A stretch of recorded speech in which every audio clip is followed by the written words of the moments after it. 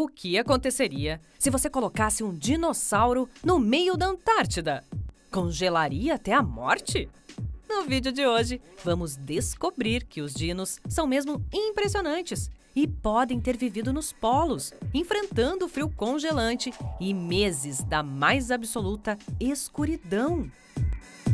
Bem-vindo ao Dinossérios, o mais novo canal de dinossauros do YouTube. Se você adora esses monstros pré-históricos, então chegou no lugar certo. Já se inscreve no canal para não ficar de fora das informações que vamos trazer aqui. Você não pode perder essa! Quando os dinossauros foram descobertos há mais de um século atrás, eles foram considerados como grandes lagartos de sangue frio. Levou muitos anos e pesquisas para que se percebesse que os dinossauros eram mais parecidos com os pássaros atuais e com mamíferos do que com cobras e lagartos. As aves e mamíferos atuais estão espalhados por todo o planeta, incluindo os polos. E assim como eles, os dinossauros cresciam rapidamente e possuíam habilidades físicas que exigiam um metabolismo muito ativo e acelerado, que não são comuns em animais ectotérmicos. Animais ectotérmicos são seres que necessitam de fontes externas para conseguir manter sua temperatura. Isso quer dizer que eles precisam ficar expostos ao sol ou ficar em algum local aquecido, como rochas. Animais endotérmicos são aqueles que conseguem manter sua temperatura constante, sem a necessidade de fatores externos, utilizando apenas seu metabolismo para produzir calor. Conseguir controlar a temperatura do próprio corpo é uma barreira bem grande para a diversificação. E os dinossauros podem ter aproveitado essa vantagem. Vou dar um exemplo. Quando pensamos em grandes répteis modernos, como os crocodilos, percebemos que, apesar de eles serem muito durões, todas as suas espécies estão presas em uma faixa de clima quente e ameno.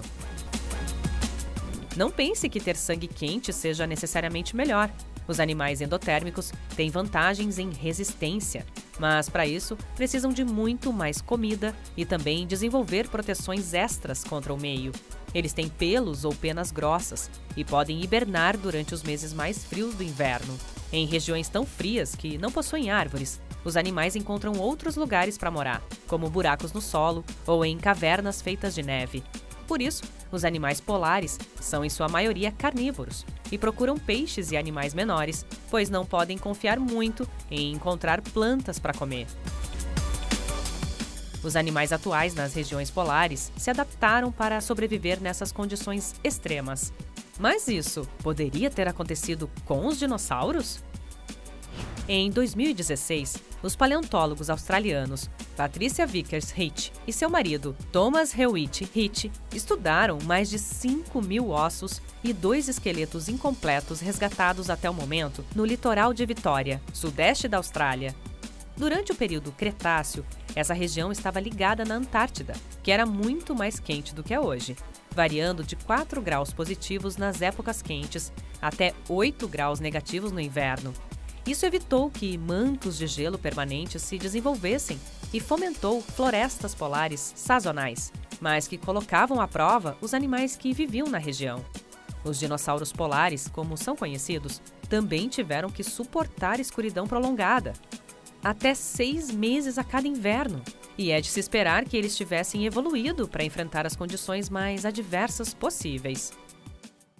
Em 2019, um estudo da Gondwana Research revelou penas fósseis preservadas, encontradas na Austrália. Representam a primeira evidência sólida de que os dinossauros emplumados viviam nos polos da Terra. Com base no tamanho das penas, elas podem ter pertencido a um dinossauro relativamente pequeno, como um dromeossaurídeo, o mesmo grupo que inclui o Velociraptor. Vale dizer que já foram encontrados nas regiões próximas alguns ossos e dentes que pertenciam a animais desta família, parentes do Austroraptor, muito abundantes na América do Sul e que, aparentemente, se alimentavam de peixes, como se espera de um animal polar nos dias de hoje. Os autores do estudo também encontraram vestígios fossilizados de pigmentos nas penas, sugerindo que muitos dos animais eram da cor preta, cinzentos ou castanhos, ou que podiam ter listas escuras. Isso pode parecer algo surpreendente em animais polares, já que a coloração escura não teria sido uma boa camuflagem em ambientes com neve. Mas se os polos do Cretáceo não eram tão frios como hoje e se haviam muitos meses de escuridão, parece que as coisas começam a fazer sentido, não acham? Com todas as adaptações para viver nessas condições extremas, algumas linhagens de dinossauros sobreviveram e, surpreendentemente, foram os últimos a desaparecer mesmo depois de seus parentes terem sumido de outras regiões do planeta. Na verdade, o paleontólogo Jude Case diz que os dinossauros antárticos do período Cretáceo tardio, há cerca de 70 milhões de anos, eram semelhantes aos que viveram em outras partes do mundo cerca de 60 milhões de anos antes. Casey diz que isso sugere que alguns tipos de dinossauros sobreviveram na Antártica muito depois de terem morrido em outros lugares. A região do Polo Sul até mesmo abrigou o último anfíbio labirintodonte, o Colossus. Não é difícil imaginar que num ambiente pós-queda do asteroide que encerrou a era dos dinossauros, as espécies polares estavam mais preparadas para o frio, a escuridão e a falta de alimento do que outros grupos. Hoje, milhões de anos depois, vivendo em todo o círculo polar antártico, os pinguins, parentes dos dinos, são os senhores daquela região. Aqui no canal, já falamos da lenda do Burunjur, um possível descendente dos dinossauros polares que muitos acreditam ainda caminhar pelas florestas australianas até hoje. Será que a Antártida ainda esconde mistérios sobre os dinossauros que um dia talvez saberemos? É, parece que a história fascinante dos dinossauros ainda está longe de acabar. E chegou a hora da pergunta jurássica. E agora vamos à pergunta: Qual desses animais é um verdadeiro dinossauro? Elasmossauro, Dimetrodon, Tanistropheus linhênicos? A resposta vai estar na descrição do vídeo. Vai lá conferir se você acertou. Como será que os dinossauros polares brincavam no gelo? Eu sei que o T-Rex, com aqueles bracinhos, nunca iria se dar bem em uma briga de bolas de neve. e esse foi o vídeo de hoje.